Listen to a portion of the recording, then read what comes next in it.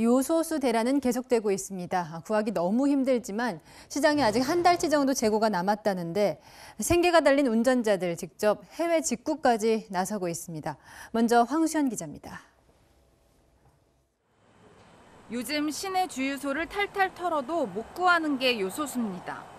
화물차 운행을 못할 판이자 생계가 걸린 운전자들은 구하기만 한다면 가격은 문제가 아니라고 말합니다.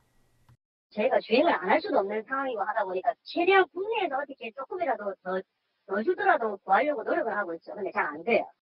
하지만 국내에서 구하기는 하늘의 별 따기가 되자 해외에 직접 구매하는 직구로 눈을 돌리고 있습니다. 수출 제한에 나선 중국은 요소수 직구까지 일찌감치 막혔고 결국 대체제로 찾은 곳이 미국과 일본입니다. 10리터 한 박스에 8만 9천 원. 비행기로 일주일 안에 실어오지만 정작 국내 가격과 별 차이가 없습니다. 일주일 미국에서 발송돼요. 딱 한 번에 보낼 수 있는 다섯 개? 항공은 맞아, 항공은.